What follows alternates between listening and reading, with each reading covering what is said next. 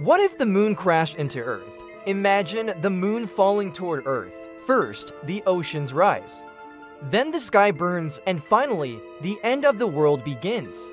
As the moon drifts closer, its gravity pulls the oceans higher than ever. Mega tsunamis swallow coastlines, cities vanish under walls of water. When it reaches the Roche limit just 11,000 miles above us, the moon begins to tear apart. Chunks the size of mountains scatter into orbit, forming a glowing ring around Earth. That beautiful ring quickly becomes a death sentence. Millions of fragments plunge through the atmosphere, turning the sky into fire. The Earth's crust cracks under the strain, earthquakes shatter continents. Volcanoes erupt in chains, filling the air with ash and darkness. If anything survives, life will never be the same. Without the moon, Earth's tilt goes wild. Ice ages, heat waves, and storms arrive without warning.